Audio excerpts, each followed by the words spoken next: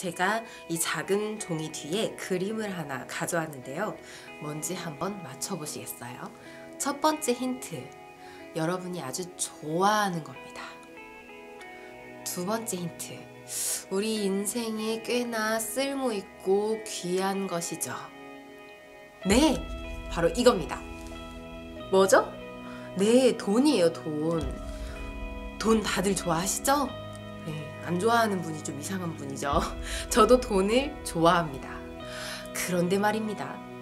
우리 인생은 돈이 전부가 아니라는 것 여러분도 다 알고 계시죠? 뭐가 더 중요할까요? 바로 이거. 이게 뭐죠? 네, 어, 남자가 열심히 헬스를 하고 있는 그림이에요. 건강입니다, 건강. 저도 지금 감기에 걸려서 목소리가 변했는데요. 감기에 걸리면 머리도 아프고 아무것도 하기 싫고 못하죠. 그냥 누워만 있어야 돼요. 그래서 건강을 잃어버리면 다 잃는 것이라는 옛말도 있잖아요. 항상 건강을 주의하셔야겠죠. 건강보다 더 귀한 게 있을까요? 있습니다. 바로 사랑입니다. 종이가 점점 더 커졌어요. 사랑은 그만큼 더 큰 가치를 가지고 있죠.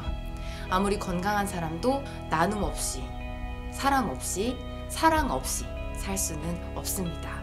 여러분 옆에 계신 분과 가족에게 많은 사랑을 나눠주시고 또 많은 사랑을 받으시길 바랍니다.